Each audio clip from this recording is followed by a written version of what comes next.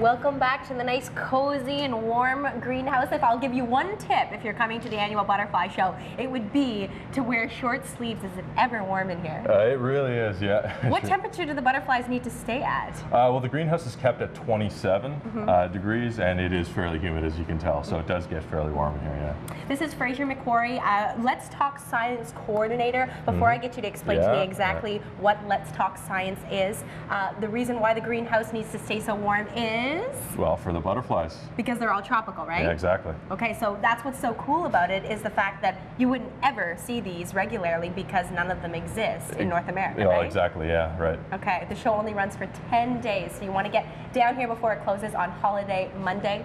Let's talk science. All right, great. what is it? What's uh, what's the program? Well, we're a national science outreach organization. Mm-hmm. Uh, we have volunteers that go into our classrooms. They're positive role models to kids to deliver them hands-on activities, really engage them in science, bring science to life, to get them excited about science, thinking about science maybe something they want to do in their future. is it typical or is it difficult to get kids excited about science? Do you think? Absolutely not. Think of it like the butterflies, one example. Science is just so fascinating, right? It's just really, really cool. But you know, sometimes kids aren't really engaged, Mm-hmm. so we really provide support to teachers to really uh, give them as much help bringing science to life for kids. Yeah.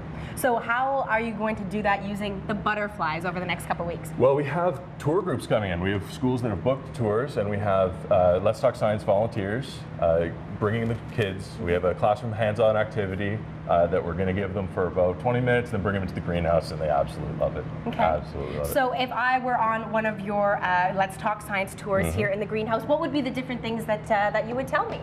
Well, we would go around and, uh, well, we'd display the chrysalids, the emergence cage with all the chrysalids.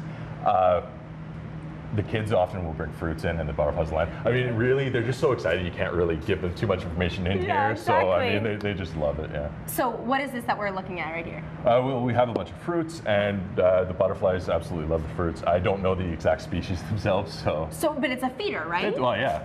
Okay, so Yeah. you just put the, the fruit in there and then the butterflies flocked to that. When we first came in here, that was Yeah. filled Oh, with yeah, butterflies. yeah, yeah. Uh, Absolutely. let's take a look at the emergence case that you just mentioned because some people may have missed, it, missed our conversation earlier in the morning uh, with Ed. So the, the butterflies come to you as a pupa, right? Right, Which is yeah. the, the what the caterpillar turns into. Yeah. And then they emerge from these pupas into the 40 different species that we see throughout the greenhouse, right? yes, exactly. Look at me, Yeah. I'm learning. so what types of tour groups will you have coming through?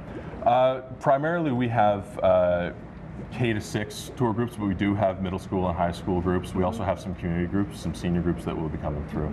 But we have, yeah, we're open for any kind of school or community group to come in. Yeah, right. absolutely. And now will you be here on the weekend as one of the the information? uh, Yes, I will be here. We'll have a couple other volunteers here helping out on the weekends as well. Yeah. Okay, because from the second that I walked through the doors, I I had a million different questions Yeah. for you and Ed because it's it's fascinating. I mean, even the process of egg to caterpillar to pupa to butterfly is, for lack of a better word, an anomaly, really. It's, I mean, it's absolute wonder. It's nature, you know, and I think butterflies really encapsulate that kind of wonder that you get with nature. There's just so many really cool things about butterflies. Yeah.